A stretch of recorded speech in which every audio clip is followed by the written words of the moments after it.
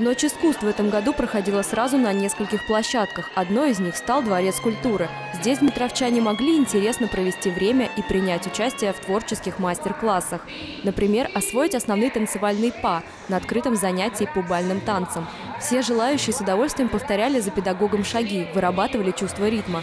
Танцу все возрасты покорны, доказали участники мастер-класса.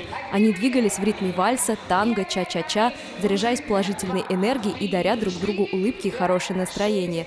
Тренинг по хореографии провел руководитель клуба любителей бального танца «Класс» Вячеслав Гулаков. Кому-то ближе пение. На практикуме по вокалу опытный педагог знакомил с различными вокальными техниками, помогал освоить правильное певческое дыхание, раскрыть вокальные данные, наполнить свой голос новыми красками. Мастер-класс провел лауреат российских и международных конкурсов, руководитель вокальной студии «Бельканто» Дома культуры «Созвездие» Вячеслав Лебедев.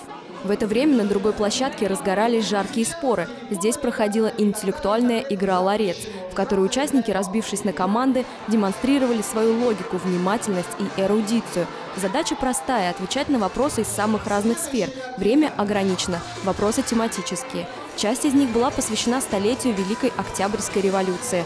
Другой блок – «Вспомни 90-е».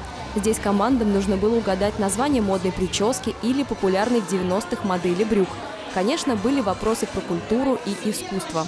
В игре приняли участие 9 команд – сотрудники администрации, творческие коллективы, команда управления по развитию культуры и туризма, команда музея «Дмитровский Кремль» и другие. Мозговой штурм длился более двух часов. Акция «Ночь искусств» с каждым годом пользуется все большей популярностью, объединяет людей и приобщает их к искусству.